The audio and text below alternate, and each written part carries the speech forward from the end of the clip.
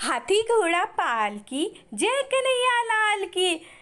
जी हाँ फ्रेंड्स मैं श्री कृष्ण जन्मोत्सव मनाने के लिए एक नहीं, दो नहीं, तीन तीन मंदिरों में गई। बहुत ही मनोरम दृश्य देखा मैंने। फ्रेंड्स आप यकीन मानो, देखकर बहुत ही आनंद से मन भर गया। तो फ्रेंड्स आप सब भी देखने के लिए तैयार रहो। एक नहीं, दो नहीं तीन तीन मंदिरों की झांकियाँ। तो फ्रेंड्स चलिए देखते हैं। सबसे पहले मैं आपको जो दिखाती हूँ वो हमारे कृष्ण कन्हैया। बाके बिहारी, ये आप देख सकते हो, फ्रेंड्स, ये मुझे श्याम मंदिर में कृष्ण कन्हैया, नंद के गोपाला मिले। तो फ्रेंड्स अब सबसे पहले मैं आपको पहला मंदिर जो दिखा रही हूँ, वो है हमारे देवरिया शहर का सत्यनारायण मंदिर, जहाँ पे बहुत ही बहुत ही अच्छी झांकी सजी है। फ्रेंड्स, आप देख सकते हो, मंदिर एकदम बहुत ही सुंदर लग रहा है फ्रेंड्स बहुत ही ज़्यादा सुंदर लग रहा है। तो फ्रेंड्स आप देख सकते हो कितनी खूबसूरत डेकोरेशन है फ्रेंड्स मैं आपको दिखा रही हूँ।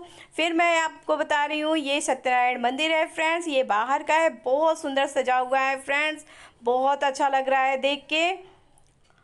फ्रेंड्स तो चलिए अंदर चलते हैं मंदिर के, आप देख सकते हो, लिखा है सत्यनारायण भगवान। तो चलिए अंदर चलते हैं भगवान फ्रेंड्स दर्शन करते हैं भगवान के। आप देख सकते हो कितना खूबसूरत लग रहा है मंदिर। मैं तो यहाँ पे हर साल आती हूँ फ्रेंड्स चलिए, आपको भी इस साल मौका मिला है, मैं आपको दिखाती हूँ फ्रेंड्स मैं तो देख के बहुत ही अच्छा लगता है ये सब।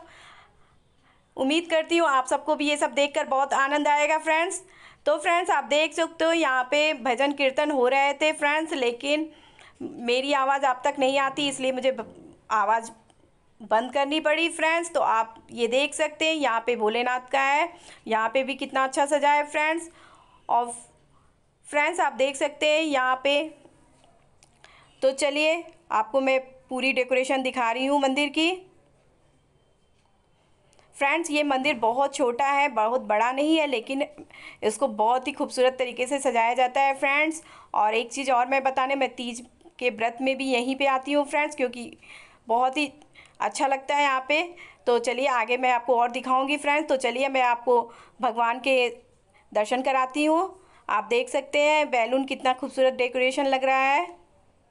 तो चलिए, आप देखिए, भगवान के दर्शन कर लिए फ्रेंड्स बहुत अच्छा इस तरह तस्वीर लगी हुई है फ्रेंड्स तो चलिए, आप देख सकते हैं, यहाँ पे भजन कीर्तन हो रहा है फ्रेंड्स तो चलिए फ्रेंड्स मैं आपको दूसरे मंदिर का दिखाती हूँ। ये ये आप देख सकते हो वेंकटेश मंदिर का। यहाँ पे भगवान को झूला, झुलाया जा रहा है फ्रेंड्स चलिए मैं आपको अब दिखाती हूँ श्याम मंदिर के बाबा का श्रृंगार, आप देखें। जैसा मैंने आपसे कहा कि आज मैं आपको तीन तीन मंदिर के शेयर कराने वाली हूँ फ्रेंड्स तो आप देख सकते हो ये श्याम बाबा का श्रृंगार, अद्भुत, बिल्कुल बहुत खूबसूरत, बहुत ही अच्छा। और आप देख सकते हैं यहाँ पे वेंकटेश मंदिर में कैसे झूला झुलाया जा रहा है। आप देख सकते हैं फ्रेंड्स कितना अच्छा लग रहा है ना फ्रेंड्स भगवान की झांकी। ऐसे मनोरम दृश्य मन को आनंद से भर देते हैं फ्रेंड्स इसलिए अगर कभी भी अवसर मिले तो उसे छोड़ना नहीं चाहिए फ्रेंड्स ज़रूर आनंद लेना चाहिए, ऐसे मनोरम दृश्य का। तो फ्रेंड्स, ये मैं आपको वेंकटेश मंदिर का ही दिखा रही हूँ। आप देख सकते हैं कितनी भीड़ है यहाँ पे, बहुत ज़्यादा भीड़ थी। अभी बाहर भी बहुत सारे लोग हैं फ्रेंड्स। सब लोग फ़ोटो क्लिक कर रहे थे, वीडियो बना रहे थे।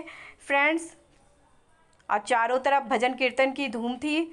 बहुत ही अच्छा लगने वाला है फ्रेंड्स आपको ये। तो फ्रेंड्स, उम्मीद करती हूँ ये जन्माष्टमी ब्लॉग आपको पसंद आया हो। अगर पसंद आया हो तो इसे लाइक, कमेंट, शेयर ज़रूर करें।